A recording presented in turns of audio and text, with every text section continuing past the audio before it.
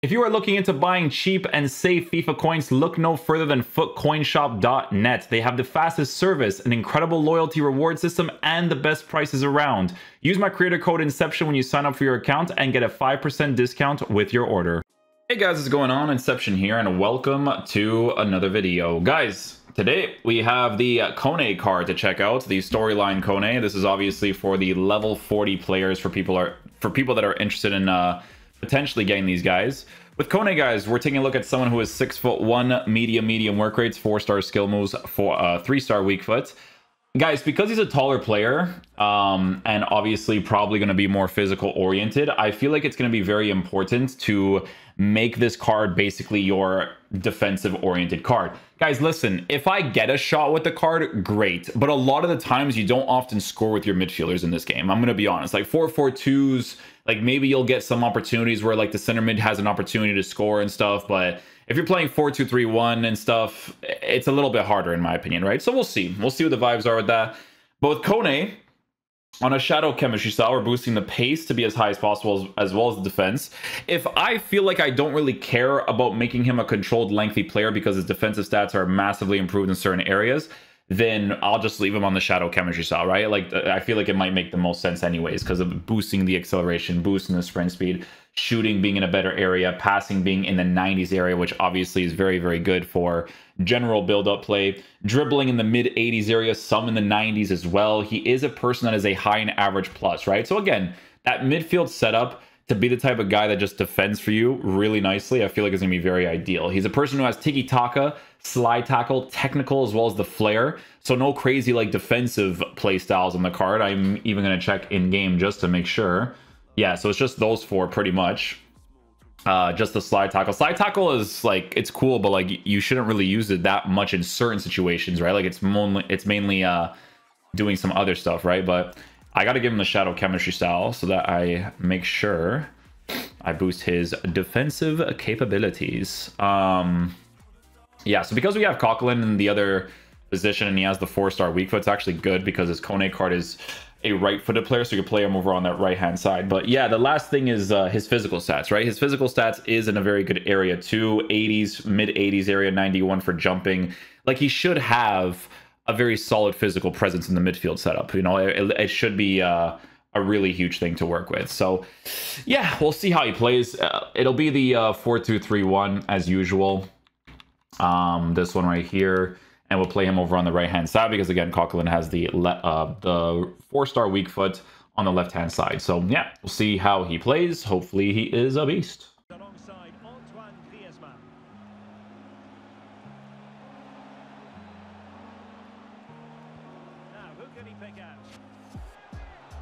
Sometimes you tackle just for the aggression, you know? Didn't get anything there though.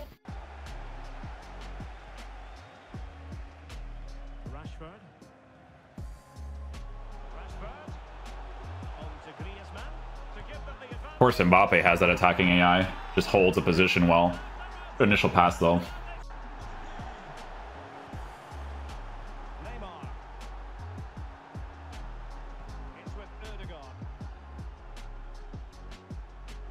See that aggressiveness? He actually does a pretty good job with that stuff. Stuff, good build up.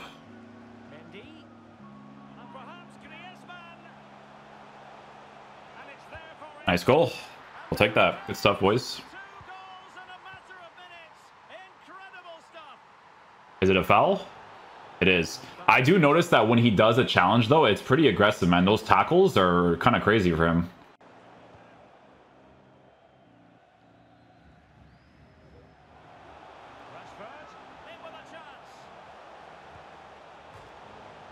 I do fancy shots when I'm trying to do an L trigger, like a Trivela. That's so annoying, man.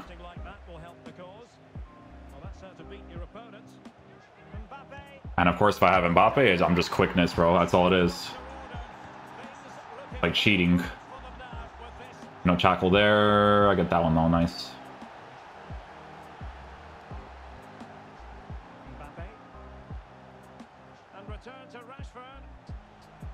Look at this guy. I'm cheating, bro. Literally cheating with this guy.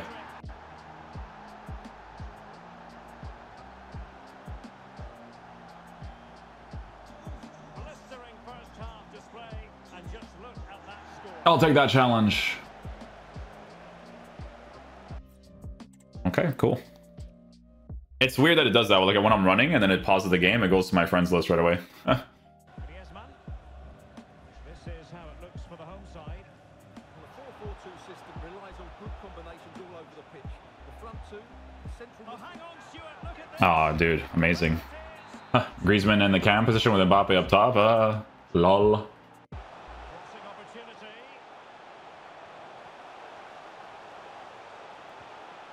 Robertson. On to Partey. Oh, Beauty, good challenge. Wilson with it. That's eye-catching wide play. I mean, he did try. Didn't get an animation off, but he did try to get that uh, cutoff angle.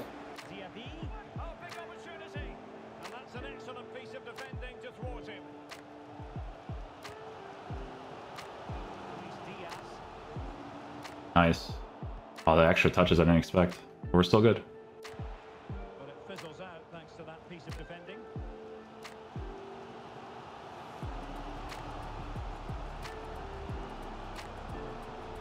Nice.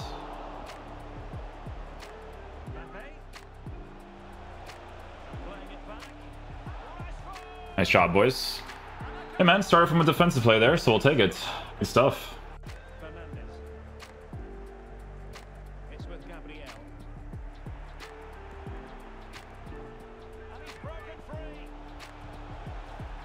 Giveaway by him. Griezmann is so good in that cam position because of those high, high work rates. He's really aggressive towards getting that ball back, I'm telling you. Well, half-time almost upon us, and playing away from home isn't bothering them in the slightest. Stuart, how about your Oh, what a take? great chance this is, Derek. Oh, I put way too much power. I wanted to get the green, that's why, because Mbappe is so overpowered, man. But it's a, it was a good uh, initial build-up, though.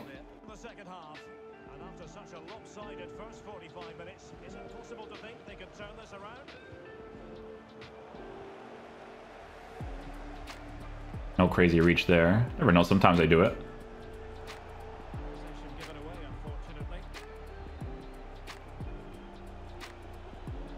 Little fake shot. R1. R1 again. R1 again. Little dribble, dribble. Dribble. Dribble again. Dribble again. Well, he's physical. I don't expect him to be crazy. See, that's what I'm saying. Like, people are like, oh, you know, you got to shoot with the card. But it's like, if he's that physical oriented, you're not really going to get that many opportunities. You know what I mean? Maybe like a Trivela from outside of 18, but And that puts them in position. Thomas Partey. Partey. no crazy defensive animation there. Defending play to break us up. That's me doing a manual challenge. Doesn't get rewarded that often, eh? Those manual challenges. Well, the slide tackle definitely more than the regular tackle, but I'll take it.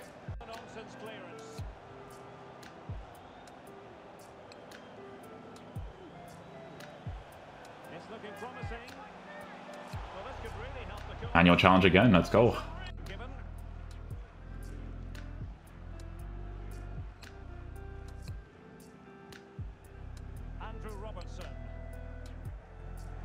That works.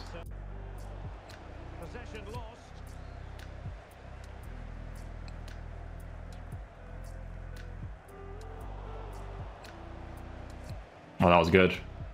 Didn't get full possession, but it was a bad uh, giveaway there.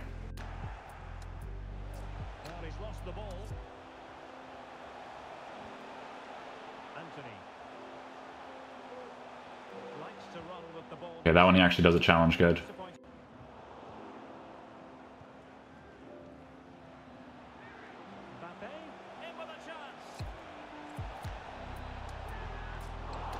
Literally overpowered, man.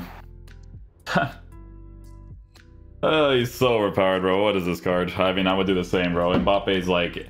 Mbappe just... Mbappe makes you better. Like, that's what it is. He makes you better.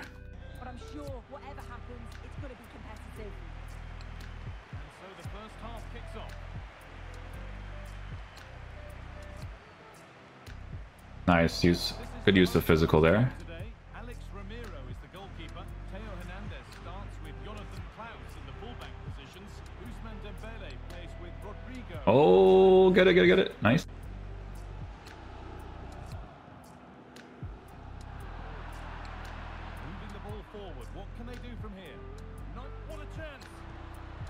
And that's what happens when you have finesse shot plus. The. Very good.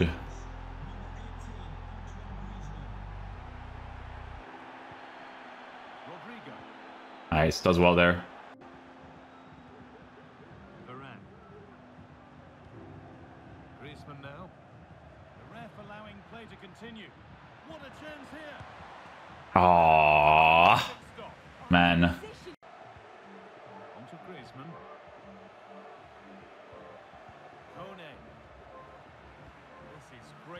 and now needs an end product.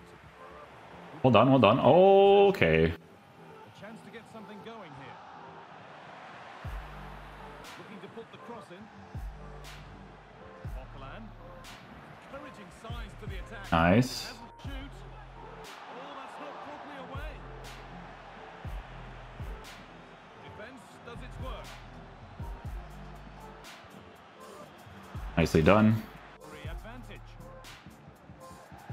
Oh,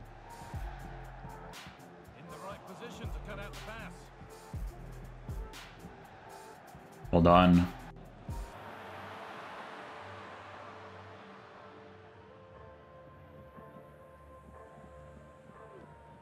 Theo Hernandez. Nice.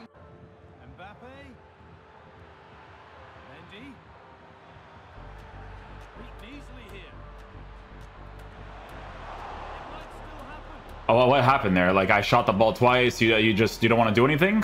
That's fine, man. No problem. No problem. Even Mbappe can't, uh, you know.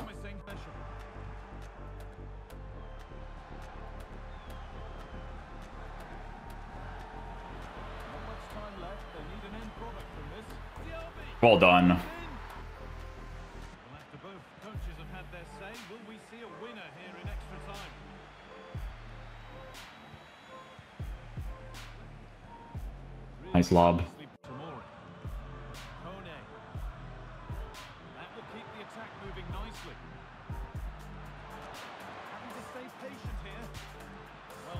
If that was a goal, it would have been warranted, man.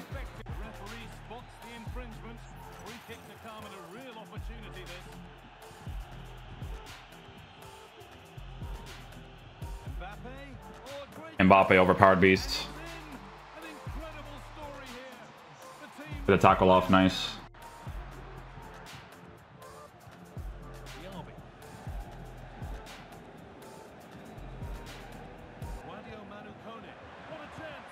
A. Oh, of course, Mbappe has that a shooting animation.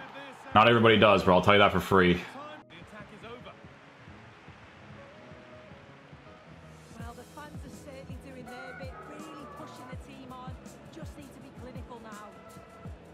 See what Coquelin did right, right there? You don't want to do that. Kone saves me, though.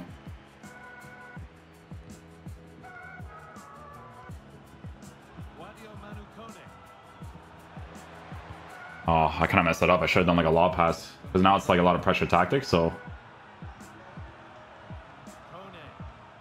hopefully it's a good lob. Ah, he forced a, a pass. That's why he forced an animation. Beauty of a challenge, man. That's what I needed. And there's the final whistle. A positive result. At Such a close game, really. What just happened right there? Did it just tell me that? Dude, your your game, EA, your game, your game, and I don't. I I actually I, I don't understand because I'm gonna go into this right away. What is wrong with your game, with your absolute nuisance to society video game, man? I thought this was just in, in in squad battles. Did you just do this? Is it is it my opponent that's glitching me out when I beat him because he's a rat? Is it him that's doing it, or is it your absolutely garbage servers that is making me disconnect right now, man? What is it? I need to know what it is, man. I need to know what it is because I just got the loss for that, right? Your your game is a piece of garbage. I actually don't understand, man. I don't understand. I do not understand how I can finish a game and I don't get my result, man. Sorry guys, it's just, you know, it's mad annoying when you uh like it just doesn't make sense. I don't want to be that guy. Doesn't make sense. Okay. Okay. Guys, with the, the selections between the storyline cards, right? Um, you know, you're going to choose between Matheus Cunha, this Kone card, or there's also a fodder pack here, right? So the fodder pack is an 86 plus times three. So here's what I'm to tell you guys between all of the options that you have, okay?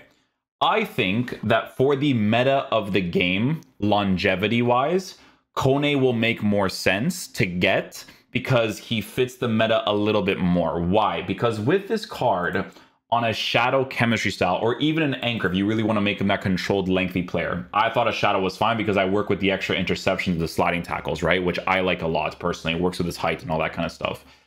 This card on a shadow chemistry style being mainly a defensive player because listen he has shooting capabilities guys but a card like this you're not going to attack often with especially in this game it's mainly you know defensive capabilities for the most part it's getting the passes off to players and whatnot i feel like these bigger guys the six foot one the tackles that they make and stuff these guys just make more sense for longevity in this game because if i were to go to the bundesliga players in general and i were to search uh, center mid cdms and I were to go to just the Bundesliga in general, let's see the selections that they have, right? So Yasua is not the same type of player, right? Keyword type. So that's already chalked. Goretzka is a little bit different as well because Kone is a medium medium. Goretzka is a high medium that could potentially push forward. Um, and then, I mean, you don't really have any other options right? Unless you did Ryan Gravenberch like it's extinct, obviously, because he's I don't even I don't even know if this card exists because he's a Liverpool player, right? But as you can see, there's not really any other like crazy option, right? So for longevity and for people that are building Bundesliga, uh, a team with Bundesliga players, like let's say for instance you have Musiala in your team, uh, you have Alphonso Davies, or you have like any Bayern players or anything like that. This card is going to be the better option for future links and right now because, uh, like I said, he fits the meta a little bit more um, than Matheus Cunha, in my opinion. Now, there's also the other thing where it's like if you don't need any of these two cards and you decide to go with fodder because you want to use that fodder towards an SBC player that you actually like, that also wouldn't be a bad choice. But with Kone, guys, you know, he doesn't have defensive uh, playstyles. I I do thoroughly believe that defensive playstyles actually makes a really huge difference uh, in regards to you know anticipate bruiser. Like I'll give you guys the example, right? So Tchouameni's card, and just as an example, this card, if he gets any sort of promo card in the future, he's going to be nuts because he has anticipate, he has bruiser, he has uh, intercept. All of those are incredibly noticeable in game when it comes to defensive capabilities. But like I said, guys, if you had a card like this lined up with Tchouameni, right? and you're working with the Bundesliga players, that is going to be a very key thing to work with. So that's going to be something that you really have to take into consideration because this card, like I said, it does play pretty decently in the meta of the gameplay. Now, obviously, in regards to comparisons between like actual meta midfielders, you know, you got your Valverde's, but obviously he costs a lot of money, right? But Valverde's card, just the rare gold version, honestly, this card is fantastic. Anchor chemistry style, he's a controlled lengthy player. Like these are like the types of players you would have to go up until to get that uh, final upgrade. But yeah, Kone just seems like a good selection from the players that you currently see, especially for that Bundesliga part. That's the really big one for you to kind of split your team in two or in two or three, depending on how you want to build it, right? Uh, but like I said, if you ended up going with the fodder and you, you know, get lucky, you get one of the promo cards, or you're using it towards SBCs because some of the SBCs are very expensive and it drops down the price a lot. Because listen, it's 86 plus, right? So if you go to players right now and you were to search the 86 plus minimum rating, so let's just go 86 minimum rating. We'll go to price on that as well. 86 minimum rating it's going to be around here, right? So you're basically saving yourself minimum, right? Because you could get higher rating as well. You're, you're saving yourself like 27, maybe 30, 40K on an SBC that's like potentially a little bit more expensive. So there's different ways of looking at it. Like I said, I think Kone is more of a meta option compared to Matheus Cunha. I think Matheus Cunha will be more will be a card that trends a little bit more because he's Brazilian from the Premier League and he gets you those certain links. A lot of people are probably going to do like I can see them doing like runs with like João Pedro and Matheus Cunha together and do something with that, right? But um, yeah, that's my thoughts on both of the cards. So yeah, th- this card still performed pretty well. Um, definitely gonna be a very solid option to work with if you're squad building a certain way for sure. But uh, yeah, hopefully you guys enjoy this video today. I'm sorry for the ending parts, but I, you guys know how I am. I have to, you know. So I'll catch you guys for next video. Peace out, dudes. Love you guys.